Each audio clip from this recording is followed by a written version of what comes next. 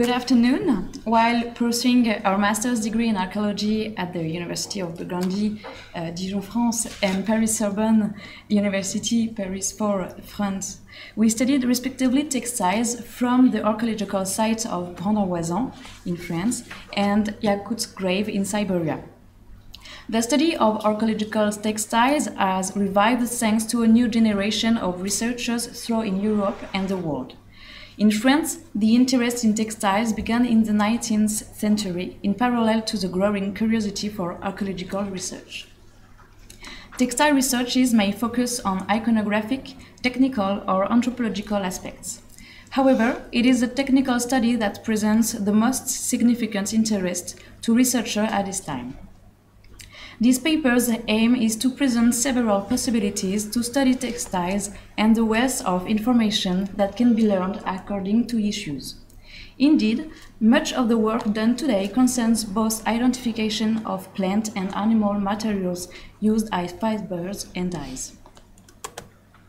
With two examples, we will see a comparative scientific approach of two techniques, one using several manipulations and one employing a more classical approach with fewer computer tools. The difference between these methods depends on means available and issues. In the first part, we present the context of two archaeological sites. Then we develop the two techniques employed for the technique analysis. We conclude with a brief presentation of the results and perspective. Brandes-en-Oisans was a medieval mining village located at around 60 kilometers from Grenoble, in France. The discovery of, a, of the archaeological artifacts allows us to date the site between the 11th and the 14th century. Particular conditions conserved a huge quantity of organic materials such as leather, wood, and textiles. In total, 1,300 35 textiles were discovered. The village was composed of houses, a church and its graveyards, a fortified house, silver and lead mines, as well as industrial districts linked to the treatment of the ore. Textiles studied here come from the B102 zone located at the northwest of the village. This area has revealed building with washing basins outside and inside of the constructions and pipes. 445 fragments, fabrics, and threads from this zone were analyzed. Yakutia is situated in the northeast Siberian and covers a vast area of 3 billion kilometers. Founded in 204 by Éric Crubézy, the MAFSO, la Mission archéologique française en Sibérie orientale, aims to study ancient DNA. On the field, the MAFSO organized three triennial in three regions in Yakutia Central Yakutia, Vilyuy, and Verkhoyansk. As the investigation has had the opportunity to be extended, the French team moved to northern Siberia. The good conservation of perishable materials, in particular textiles, is due to the permafrost, permanent frozen ground remains characteristic of the Ice Age. Concerning the history of this region, the Russians began colonization of Siberia in the middle of the 16th century during the reign of Ivan IV. The primary goal of Russian colonizers was the search for rare material, including fur, through taxis named Yasak. The conquest of Yakutia also had another purpose, including no, another purpose. Throughout the 18th century, Russia conquered Siberia as far as the Amur Basin. At this stage, it came into contact with a powerful neighbor, China. The Russian Empire wished to establish trade relations with the China, Chinese Empire and sent diplomatic agents. So the Russian Empire had a double benefit with the colonization of Siberia. First, it opens new territories and containing valuable commodities. On the other hand, it came into direct contact with China and started to trade with it. Textiles studied during my master in archaeology are dated between 18th and 19th centuries. Dating was carried out by different chronological methods. carbon-14, the chronocultural data, and dendrochronology. First, the establishment of a textile corpus dedicated to technical analysis is carried out by sampling. Most often, textiles found in archaeological contexts are poorly maintained and are in the form of fragments. However, in the context of the Yakut textiles, samples were taken on larger parts. Samples are selected based on research issues and on the proper storage of materials for delivery of a lot of information. After the technical analysis, samples should be kept in a dry place. We wish to draw attention to the important importance of a good non-polluted textile facility in both the archaeological field and the laboratory. Once selected, each textile was photographed front and back. The photographs were taken with natural light and with a scale. The first technical survey put the archaeological object from a state to a three-dimensional image in two dimensions. The technical analysis of textiles is an observation of samples at different scales. Foremost, the textiles are observed with the eyes to describe the appearance.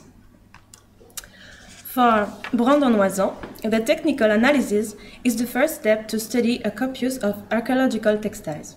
To realize this operation, it is necessary to note several pieces of information on every fragment of textile.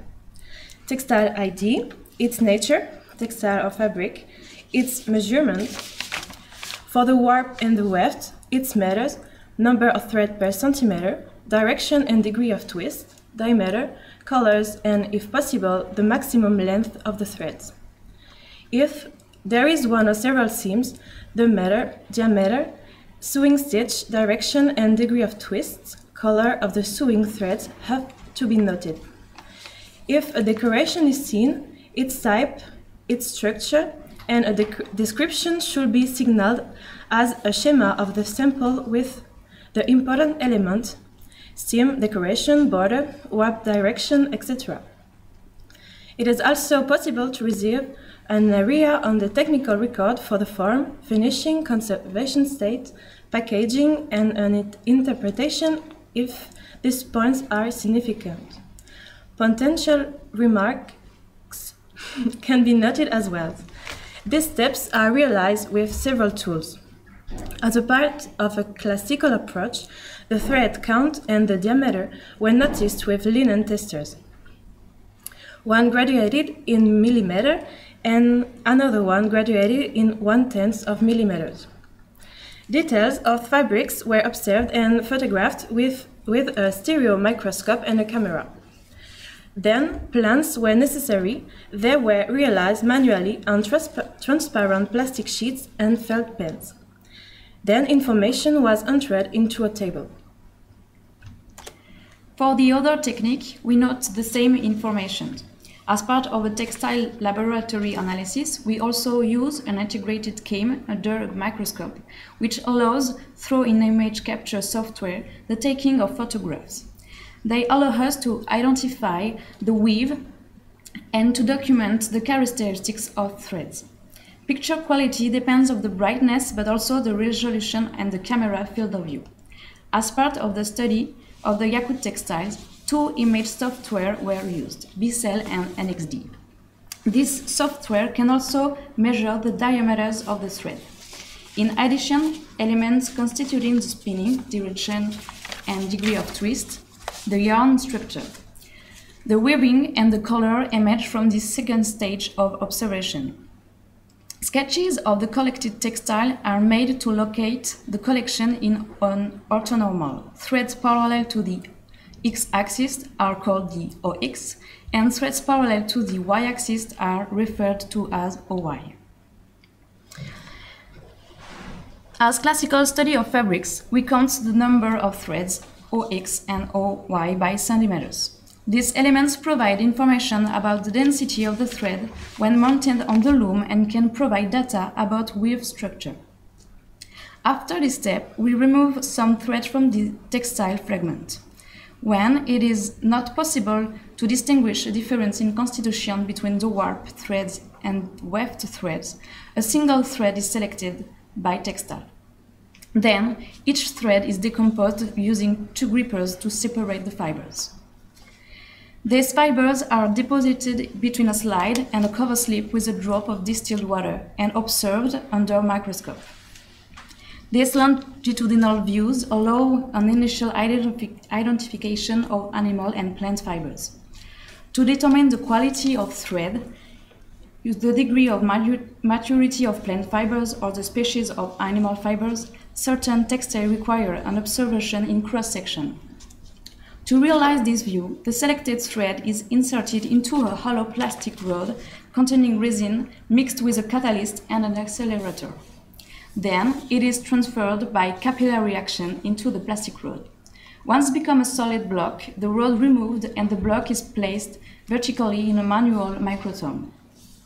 The latter is used to produce cuts of very small thickness of few microns for observing microscope sections of the fibers. From these different stages of observations applied to samples from the Yakut closes, data were first recorded on paper grid and a database was designed to present the most information, photographs, measurements, sketches, dimensions. Other analyses were made with the help of Christophe Moulherat at the Quai Branly Museum in Paris. No pigment analysis was realized. Nevertheless, traces of blue and red dyes were seen on 14 textiles. 11 tabbies and one twill had a beige background and red weft-faced bands. Two, two one twills had a blue background and a beige weft-faced tabby bands. Fibers from colored threads were observed under a microscope. This observation showed that fibers were not completely soaked in the middle. A scanning electron microscope, SEM, was used to observe and photograph threads from five fabrics and plant matter with a high magnif magnify power. The SEM observation allowed to highlight the worn aspect of the surface of the wool fibers and to show the presence of a layer of sediment around, around fibers. Finally, analysis of chemical component from this envelope were made with the SEM and combined software. Lead is the most represented with rates between 4 and 48 percent. Barium and silicon are also present in huge quantities. Barium is a component of the barytes, element sometimes found in the vein or rock of Brandes-en-Oisans. Silicon is combined to the quartz, sometimes present too in the vein or, or rock. Silver appeared briefly on screen. Nevertheless, the rate, the rate was too weak compared to the scale used. Analysis of samples found in Yakutia was able to demonstrate the diversity of animal fibers, wild and domestic silk, wool, hair, hand plant fibers, cotton, linen, but also the diversity of weave, tabby, twill, or satin. There are two silk categories, domestic silk and wild silk. In both cases, and whatever the species, the worm produces silk thread to make a cocoon, in which it is transformed into, into a butterfly. The cocoon is formed by a wire network. The shapes, colors, and sizes differ depending on the species of the worm. However, the cocoon wire is fragile, which is why it takes many cocoons to form a silk thread. Domestic silk is produced by the species Bombyx mori, which is, which is native to China. To the naked eye, Bombyx mori silk has a shiny appearance. Viewed longitudinally, fibers resemble regular tubes, and they do not exhibit twisting. In cross section, the fibers have a triangular shape whose vertices are rounded. The wild silk threads are from cocoon spun by wild or semi-domesticated silkworms. There are several types, but the best known are the antheraria. Viewed longitudinally, wild silks are very similar to the Bombyx mori silk that is, transparent and regular tubes, but have the distinction of being finely striated longitudinally. In cross-section, they have an elongated triangular shape. It is interesting to distinguish between the domestic silk and the wild silk during the technical analysis because there is a distinction in quality. Wild silk is rare and a better kind of silk, and we can suggest some ideas for the origin of these silks. China is one of the major silk producers, including domestic silk Bombyx mori species and wild silk Antheraria. So it seems that these fabrics were from China. However, France and Italy were also major producers during the 18th and 19th centuries. Russia exchanges many raw materials, furs, leathers, with France against finished products, silk and wool fabrics. Also, from these distinctions, it is possible to reflect on the textile as a symbol, in particular a symbol of wealth in the Yakut examples, and reflect about different Yakut graves, or exchanges between Russia and Yakutia, or China and Yakutia. In conclusion, this comparative approach highlights that it is possible to study textiles in various, way, uh, various ways and that the technique used depends on issues of the corpus. Concerning the textiles from, from Brandes-en-Oisans, it was not necessary to identify the nature of fibers, but to understand their functions into the context. On the contrary, for the Yakut sample, the major issue was to identify fibers, fibers for reflect about the origin of textiles. In a near future, textiles from Brandes-en-Oisans will be analyzed during my doctoral research at the University of Clermont-Ferrand. And a new report realized by the EMA FSO about the study of the Yakut's grave will be contribute to the study of that material. The study of archaeological textiles is still not widespread among French archaeologists. Nevertheless, this domain slowly gains ground. Thanks to the development of new technologies, it's possible to explore the textiles more deeply and to think of new hypotheses, things that were impossible in the recent past. Perhaps one day it will be possible to study a fragment without manipulating it. The future will tell us.